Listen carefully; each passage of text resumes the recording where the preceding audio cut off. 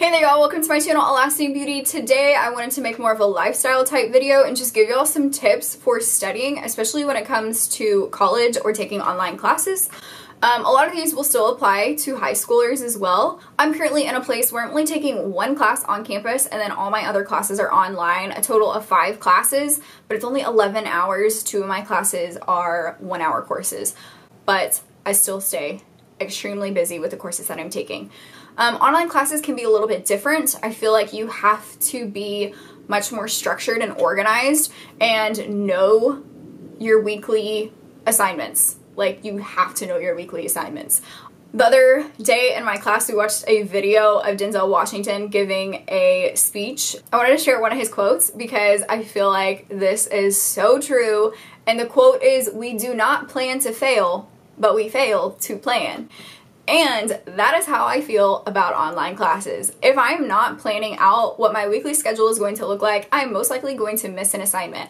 I will be very honest with you. I already missed one assignment and I've I'm only 2 weeks into school.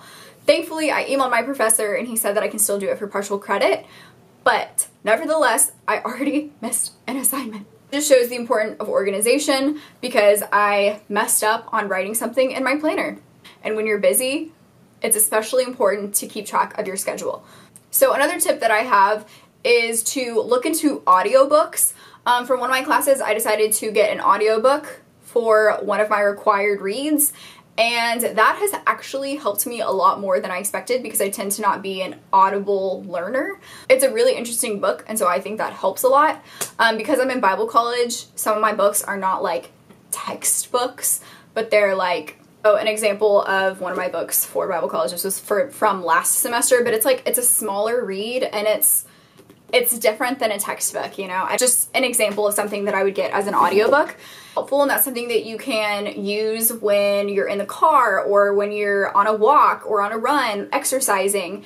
It's a way for you to still be learning and getting some of your homework done while multitasking and doing other things. Another recommendation that I would have, especially if you're a visual learner, is to actually read your material out loud.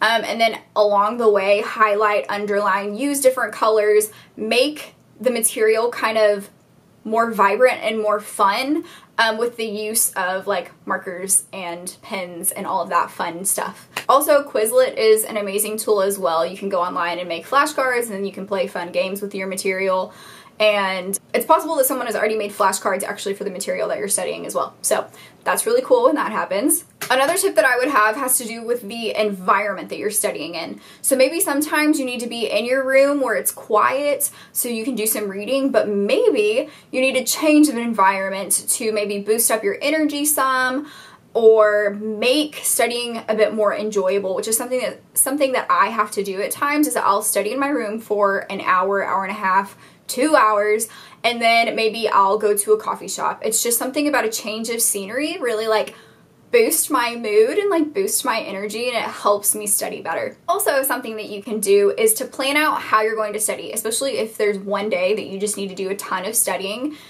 set aside time to do things in between study sessions. So maybe you'll study for 30 minutes and then you'll go for a walk and then you'll study for 30 minutes and then you'll do some laundry. You'll study for 30 minutes and then you'll have a snack or a meal. Just kind of separate your studying from other things so that it keeps you going and it, it's kind of another way of kind of boosting your mood and boosting your energy and I find that that also helps me a lot as well. I'm not someone that really enjoys sitting still for a really long time. It's really helpful when I do it that way.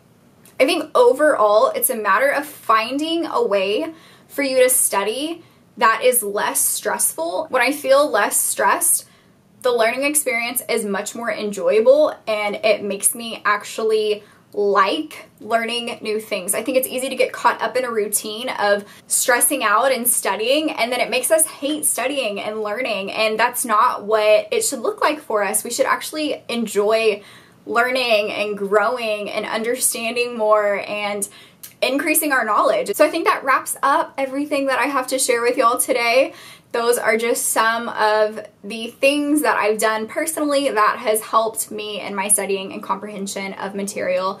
Thanks again for watching. I love you all so much. Have a blessed day and remember that your worth is far above rubies.